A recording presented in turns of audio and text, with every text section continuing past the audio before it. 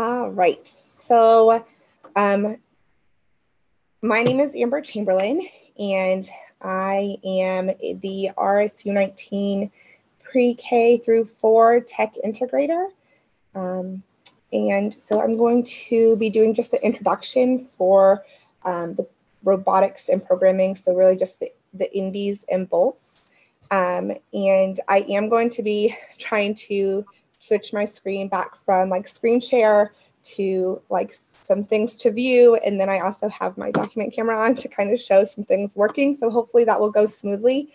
Um, we will see. So I'm going to go ahead and share. Oh, just need access to that.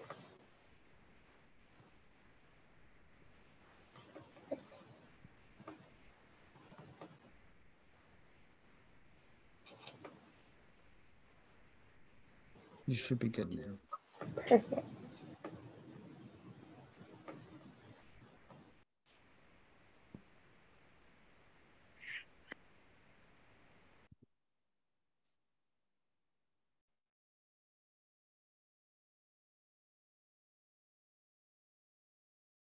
Oh, Amber, it muted you.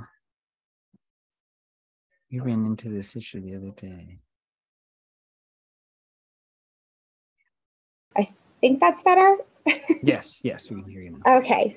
Um, I don't use Zoom as much as Google Meets, so it'll be a little bit of learning as we go. Um, all right, so my name is Amber Chamberlain. I am the K through 4 technology integrator for RSU 19, if you weren't here for that. Um, I do have my email there. Um, I will give that again later. Um, today we are going to just be doing the introduction to Sphero Indis and the bolts. Um, so we're really going to be looking at unpacking the kits, kind of preparing for those first initial classes, and um, kind of just starting that dive in. Um, and then next time we'll look into more of that programming side. Um, I did also include um, the online resources links in these slides. Um, and Kern, I think I gave you those if you don't mind putting them into the chat, the PDF version of these slides. All right, so in your kits, um, you would have received um, or will be receiving um, these things. So it comes with a classroom tote. It's a big carrying case. Um, it's pretty hefty.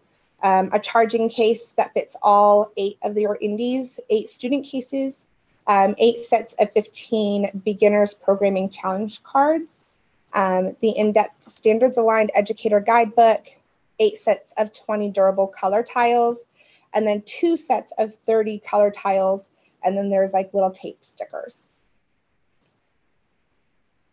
Um, I know storage was a question that's come up before.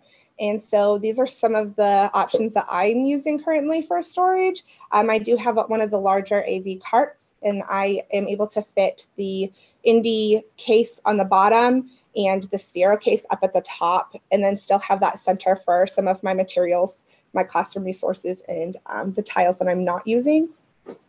Um, that's really convenient because I have two floors that I um, go to. I could carry the case, um, but like I said, it's a little bit heavy, so it's it's a little difficult. So this makes it a little bit easier. And then I also found that these um, School Smart, like the big rolling carts, work really nicely. I can fit all eight of my cases, and it even fits the charging case if I needed it, um, which makes it nice if teachers are checking it out.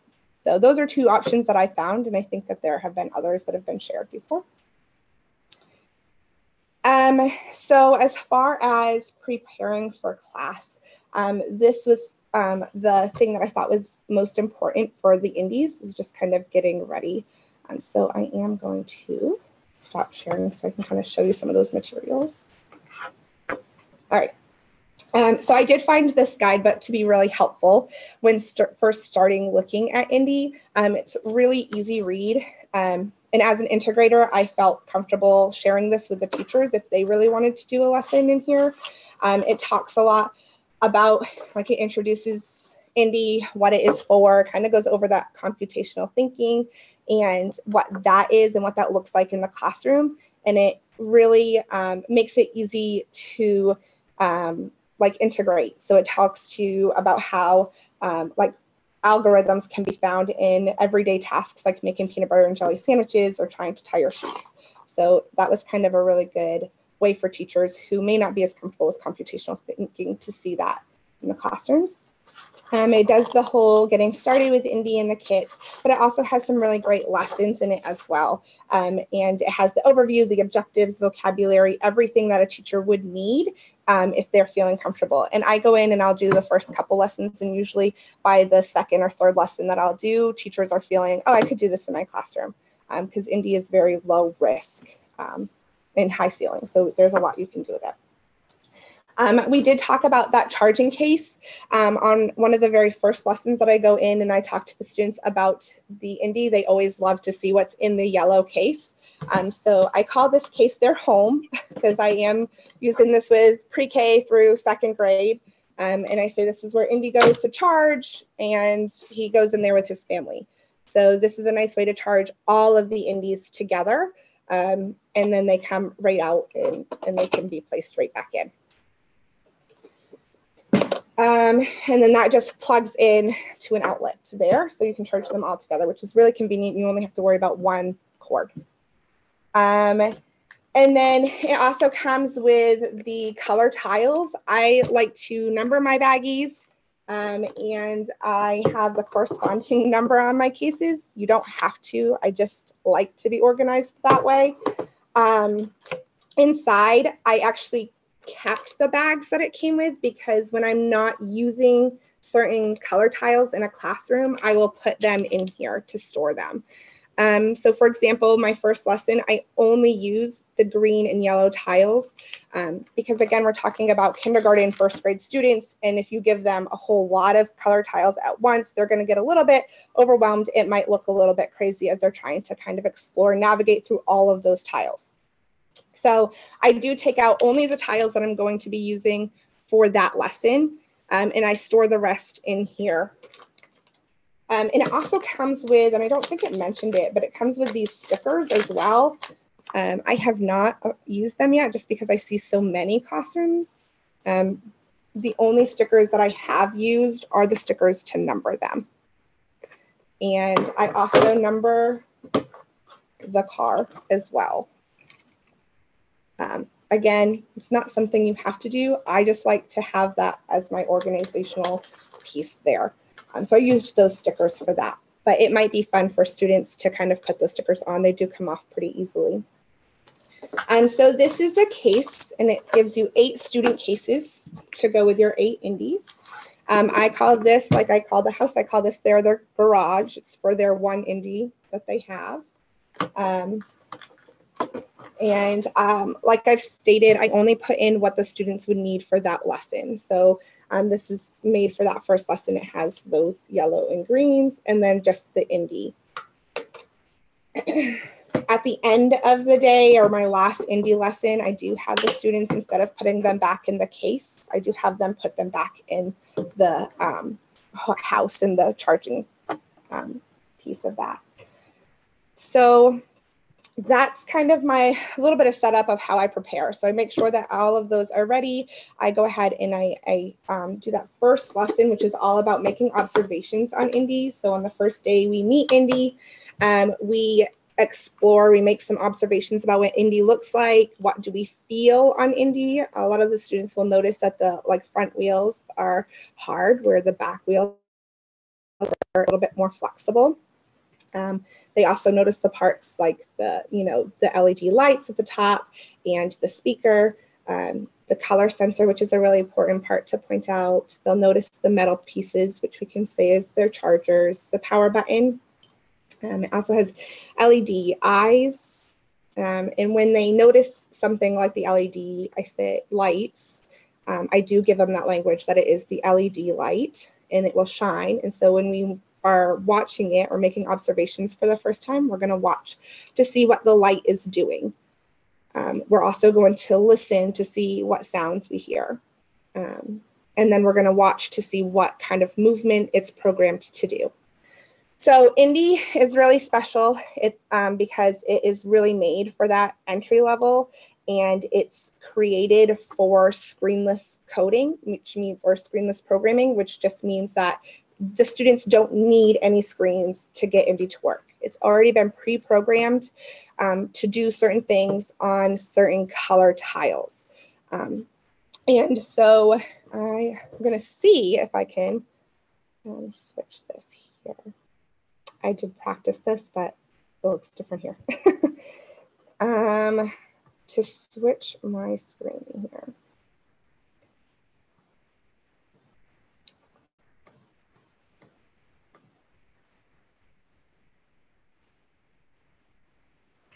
Well, now I'm not sure.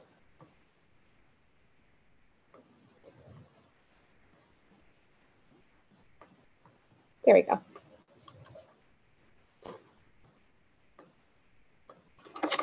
Okay, so I knew I'd figure it out. All right, so I just hit the power button, it turns on, makes a little noise, and I did just set up um, a quick little um, path um, for it to navigate on so you can see how it works if you haven't tried it yet.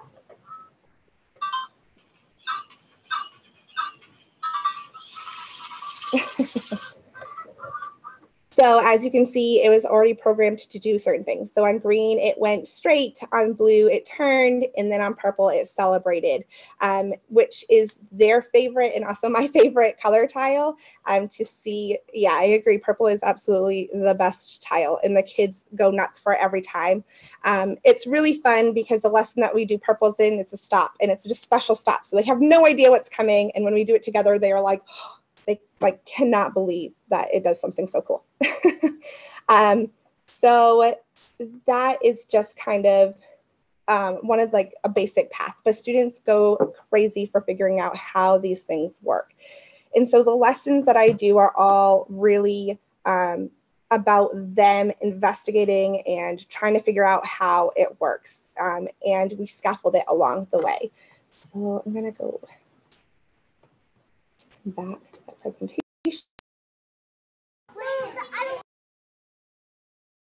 Go the video. You're muted again, Amber. I think when it goes goes back and forth, it mutes you. I'm gonna have to try to remember that. Um, so yeah, so the next one is a video. Um, in this, students, this is one of the very first lessons, and it is a first grade classroom. So we had done some pattern work with just the greens and yellows to figure out what happens with them. We've made the observations. Oh, we also talked about rules and safety. So usually I say Indi's new to our classroom, and so we need to teach him how to be safe and responsible. Um, and so a little bit of classroom management tips is we do like three, two, one, Indi up, and they all put Indi up in the air. Um, that helps because I know they can listen to directions and Indi's not doing any movements. Um, and so on this one, they'd already done some practice with their patterns. And so they were kind of coming up with some other questions. So one of the students had asked me, will Indi go in a circle? And so instead of saying an answer, I said, I don't know. Let's try it out. So this is what they did.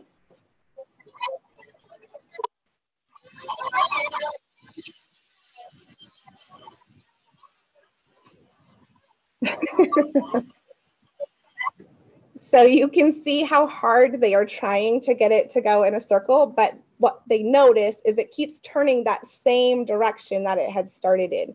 And so they were able to, on their own, kind of figure out how those how those work and knowing that Indi doesn't see what's in front of him, he can only go the direction he was first programmed to go.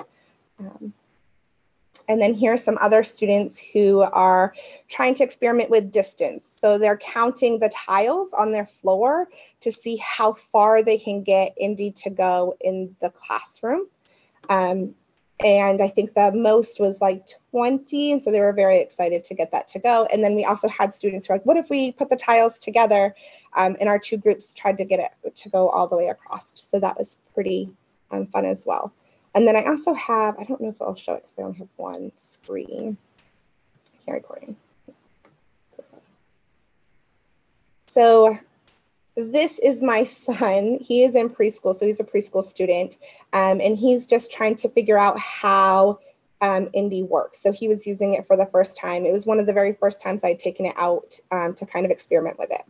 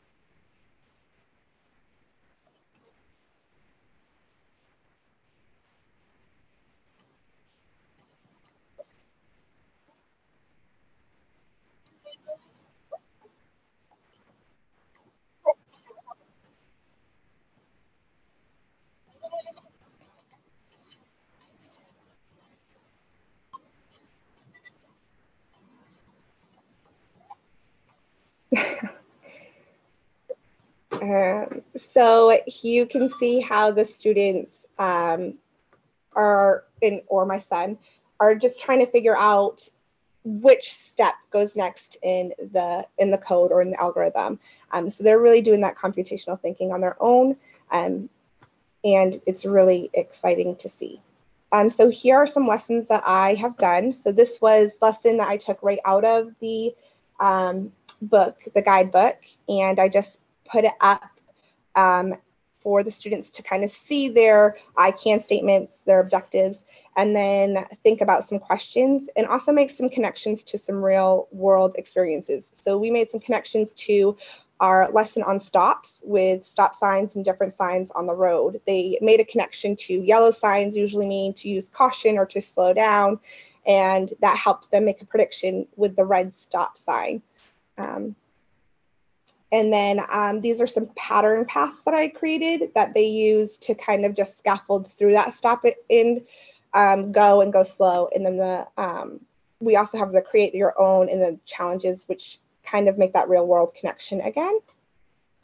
And so I'm going to stop here um, for Indi um, to see if there are any questions.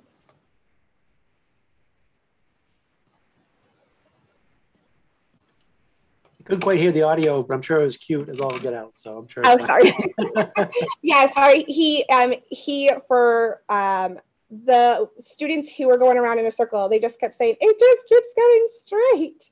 Um, and then with my son, he was really thinking about what was going to happen next. Um, and he kind of just led me through that. I didn't really have to do any of that.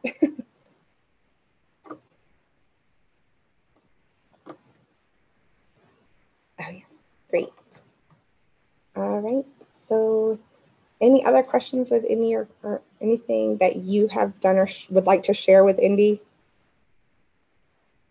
before I move into Bolt?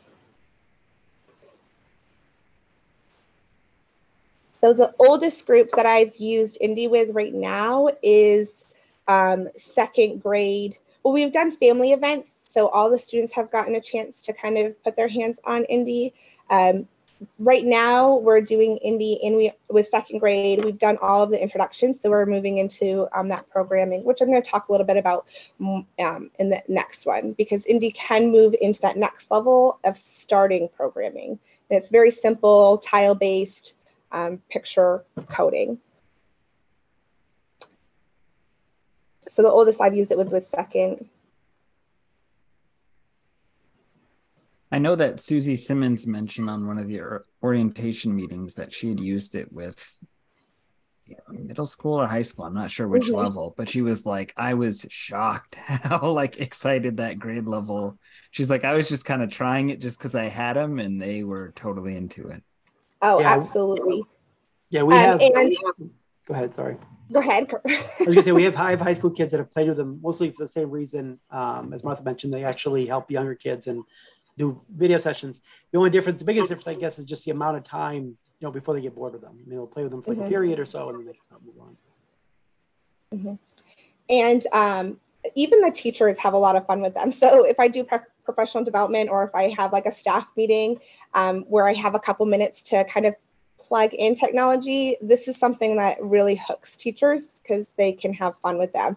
Um, and um, I have also thought about ways that I can kind of tie in. My oldest group right here is fourth grade. So, how can I get them on board with maybe even doing some of that programming and then having the younger grades test out that programming and make those new observations all over again to see what happens now that that they've done that and kind of do some partner work with it. So I thought that would be really neat. And I also thought that it'd be a really great way to introduce looping with my third grade students um, because it's kind of a challenge to make that loop and then to see it, to see what happens when that loop is going over, that code is going over and over again. So it's a really good visual way for them to see that.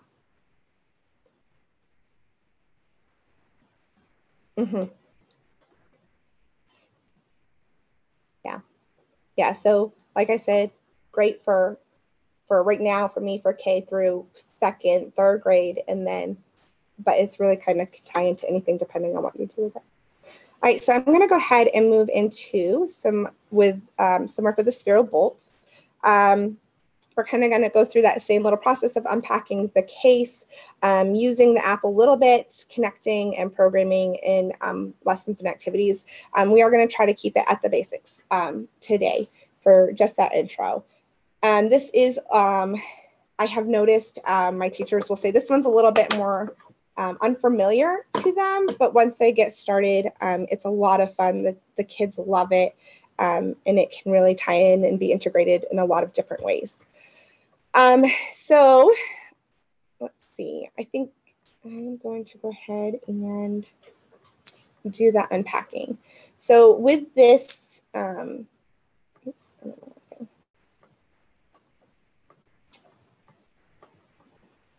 too many things that I have open right now. Sorry. So I am going to use USB. All right, so the bolt comes in this um, nice rolly case, which is really convenient um, because otherwise it'd be really heavy to carry around. Um, the rolling case also has all of the charging cradles connected to it, so it's really easy to connect right into an outlet and charge all of the bolts at once. Again, which is really helpful because you don't have to worry about all of the wires for each cradle that charges the bolts. Um, when charging, you just have to make sure there's um, a little switch on the front here. So just make sure that you flick that up and that it is blinking means charging. If it's a solid green, it means that they're charged. Uh, also with these, one thing that I've noticed is even though it says it can charge with the protectors on, so the protectors look like um, this, they're just like a little flexible case here. Um, it, it does charge with them on. I prefer to have them off. I feel like it charges a little bit better.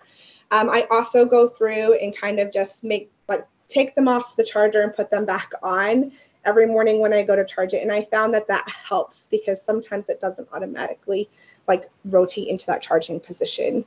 Um, so that's been really helpful. I've also found that if I bring the charger with me to a classroom, it's really helpful because sometimes if I have difficulty trying to connect to a bolt, if I plug in the case and kind of snap that charging on and off, it's really helpful um, to help with that connection. So I don't know if it reboots it, it, it does help with that connection as well.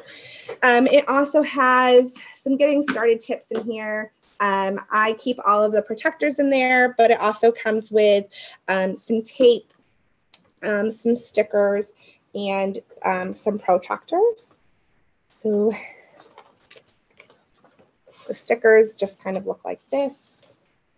And they might make a good like little prize for students um, or reward or um, the protractors are they look like this. They come with a centerpiece in them. Um, we call them protractors or compasses. Um, I think these are very helpful to introduce to students as soon as you start talking about roll, um, the roll blocks. I didn't introduce them the first time when we did the roll blocks, um, but I would be doing that next time. So next time when I introduce this, I would also introduce these in at least the two points of zero in 180, and then kind of add on from there as we're rolling and figuring out how those how those angles or degrees on that protractor work. On the other side, it also has um, clock time. Um, so there's a lot of ways that you could probably integrate that too, and even that spin within that clock. So I haven't done anything with that yet. I'm still kind of thinking about how I would use that. Um, these also make um, can make good um, targets as well. So the book does give you ones that you can print out, um, but these can be good targets. Um, the only thing with that is that it does throw off their aim a little bit when they bump into it. Um, and this is that tape. It is in centimeters and meters. So that's really helpful when they're coding um, or programming. They can kind of think about how far it's going and how fast it's going. Um, when you get into the middle um, level, they could start thinking about ratio um, and how fast that is going. Um, with my students, we kind of just test trial and error.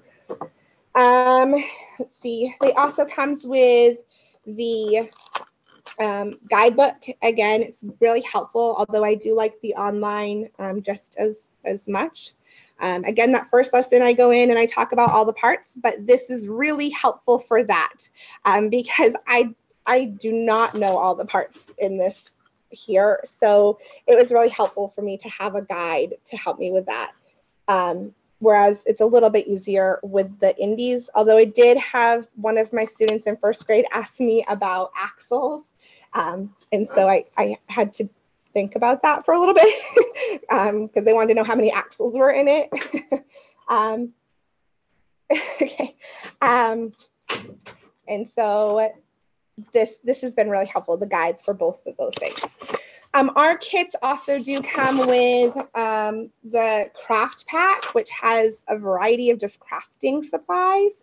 Um, in an after school group, we use the, the crafting supplies to help engineer. So that steam, that engineer part of that steam, um, we did a bridge. And so it was a lot of fun to pull out the, the craft supplies and, and try to make something that would go with our bolt. Um, and then it also comes with um, the mats and activity cards. Um, so I'll show the mats in a second, but the activity cards um, for those, um, there is a space mat, a soccer mat, a city mat, and a golf mat. And the activity cards um, just have like a challenge pretty much for the students. And I have taken a couple of these little challenges and turned them into a lesson um, after we've done the introduction. So it's been um, fun to do that. So we did this one actually. It's called Flight Plan. You see, I, these ones I have taken out, but. Um, so in this one, they do the space one. They start the International Space Station. We had them cord, um, to map the coordinates of the different space stations or spacecraft on the map, and then they had to use their roll blocks and delay blocks um, to to navigate to a couple of them. So that was a lot of fun. Um, and so if I can pull those out so you can see what those look like in case you haven't seen them yet. And this is another like wow factor for the students. They have a lot of fun um, with these. Okay, so here is the space one here. Um, and you can see it um, has cornets. I actually don't know if you can see, um, but it has cornets um, like a battleship is what we talked about in my fourth grade class. So we could do the numbers on one side, the letters on the other. And on the other side of my space mat is the soccer. Um, the soccer has numbers on it, so you could do a lot of things around patterns. You could do um, simple addition, um, simple multiplication or division, um, and things, things like that. Um, so that's the soccer. And then we have the city, which is a lot of fun. The activity cards for that have a lot of great ideas. Um, I was thinking that this would be a great mat to tie into storytelling or some ELA work. Um, and finally, on the other side of that is the mini golf, which um, our, my students have tried in fourth grade and they absolutely loved. Um, and you can see on this side, um, it has the XY coordinates and it has negative and positive numbers on there as well. Um, let's see.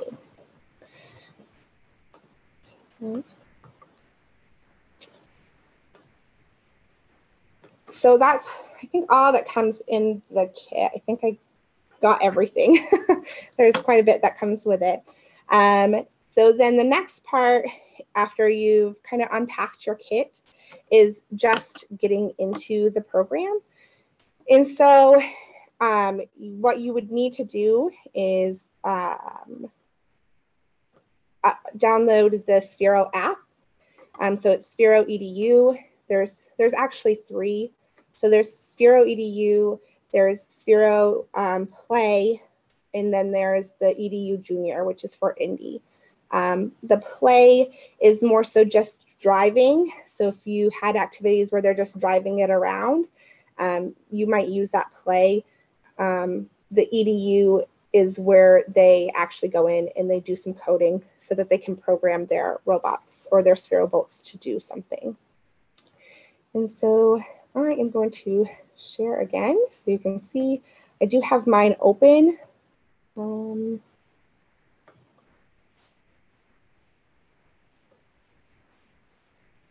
if I can do.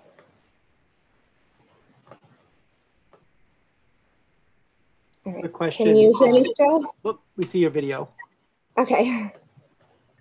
Uh, Karen asked, when students using the mats, are they driving the bolt or coding the bolt? Um, so you could do either. I have had them code because they'd already done some introduction lessons, but I think it would depend on the way that you wanted to integrate the mats with the lesson or integrate the content with the Spheros.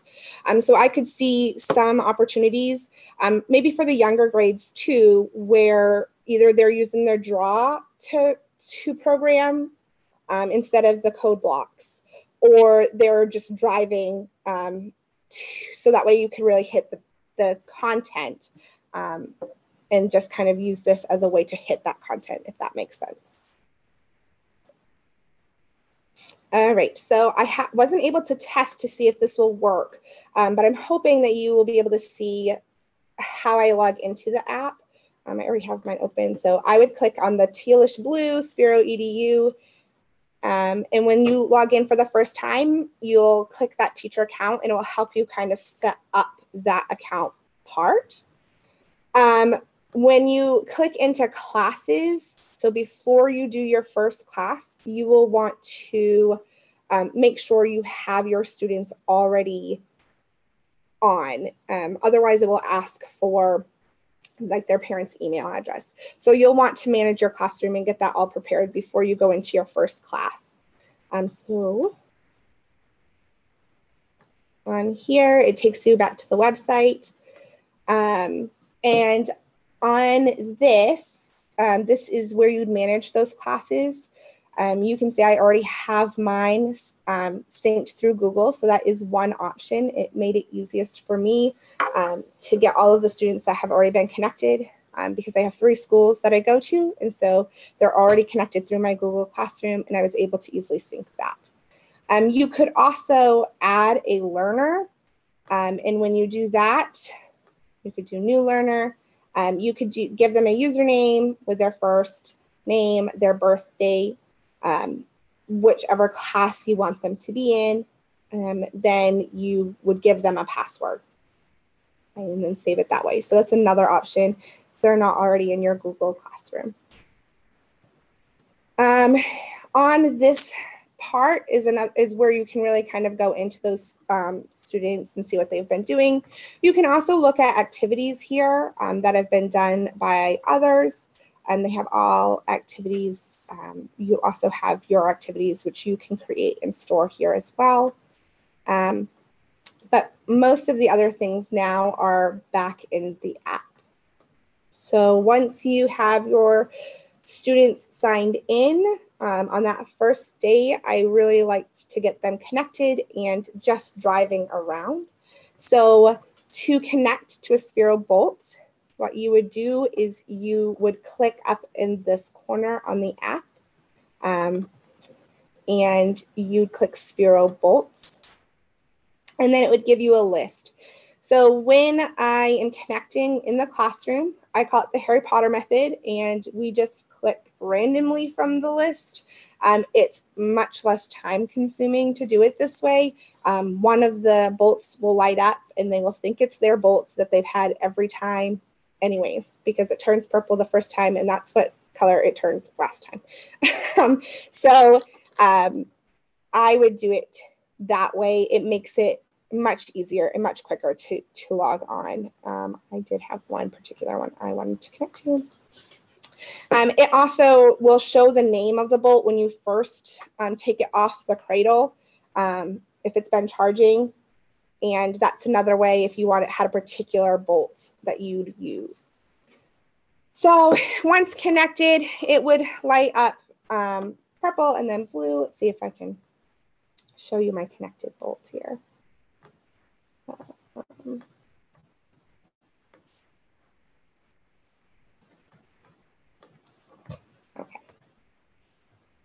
So, oh, it disconnected as soon as I left the app. so let's see. I'll go back to sharing.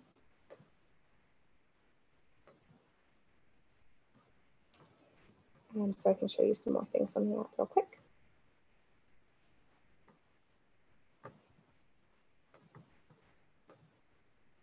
Okay. So let me connect again.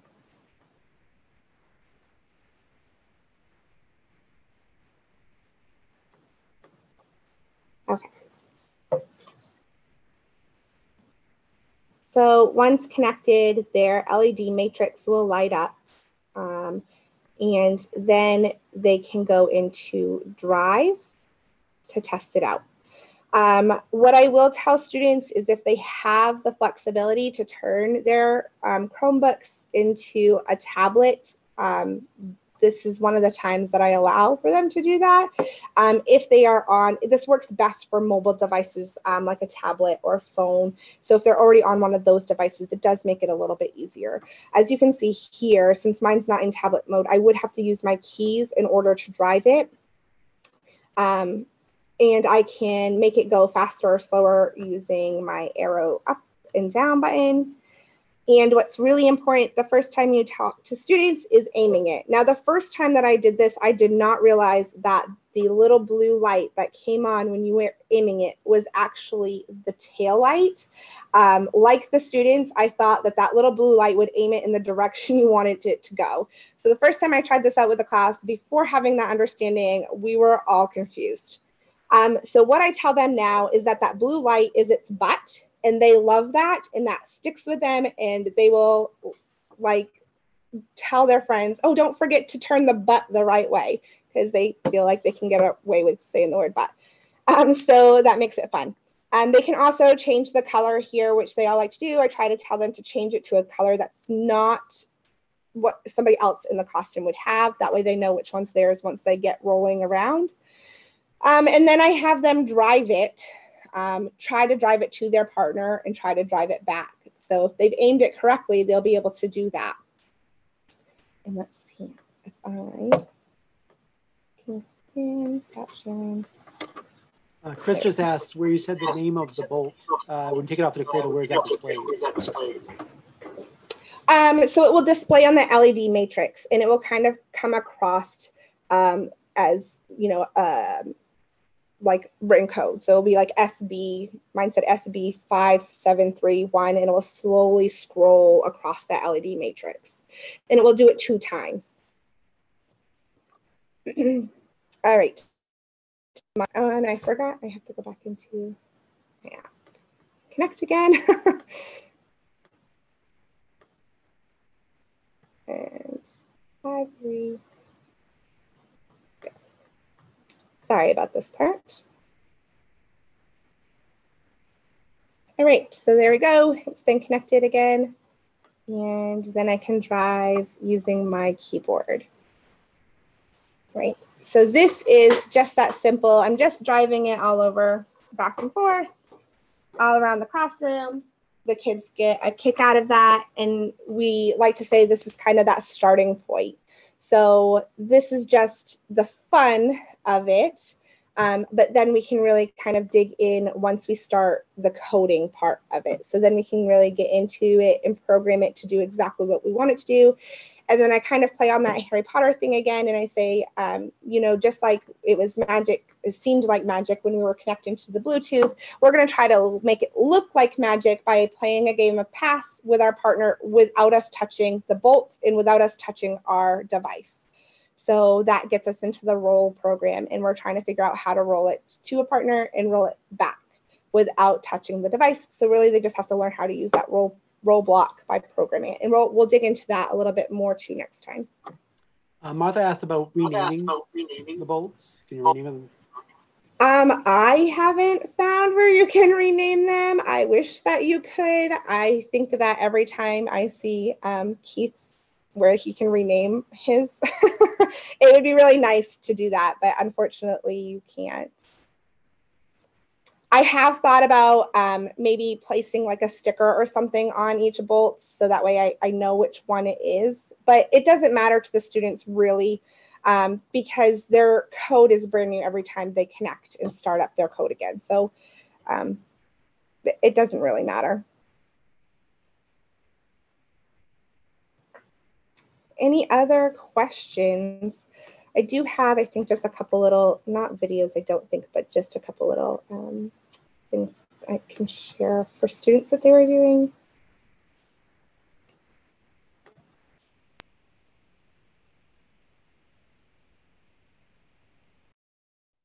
Muted again.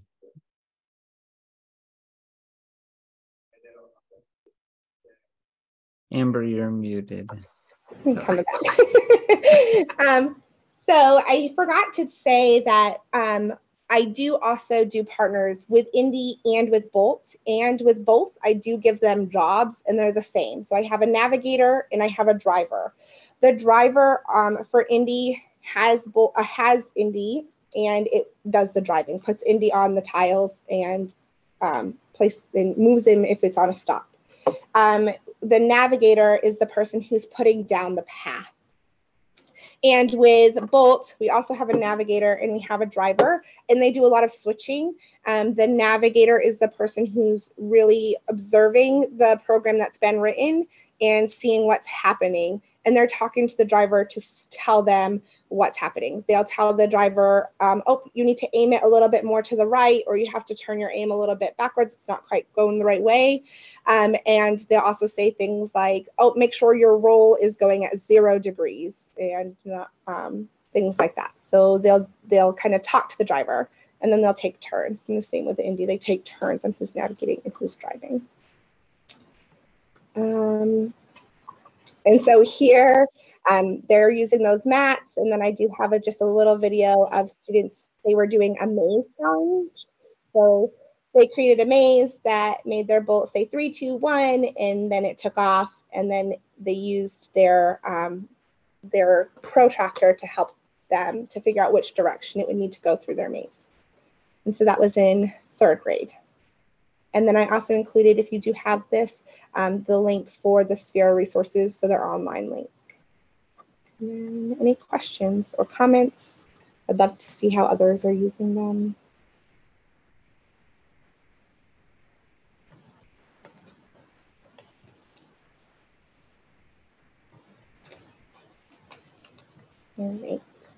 So I really wanted today to kind of be that like intro into it and kind of like see what we have, see what's available, and kind of get our feet wet. Um, the next um, time I meet with um, whoever, if you're coming to the next one too as well, the advanced, it's kind of more that intermediate. So we're going to really kind of dig into the indi and thinking about how we can get into the computers and use that for programming, and then kind of look at that programming a little bit more in depth with the Sphero. Um, and if you have them, maybe try some different things ourselves to see what, what's going on with that and how they work.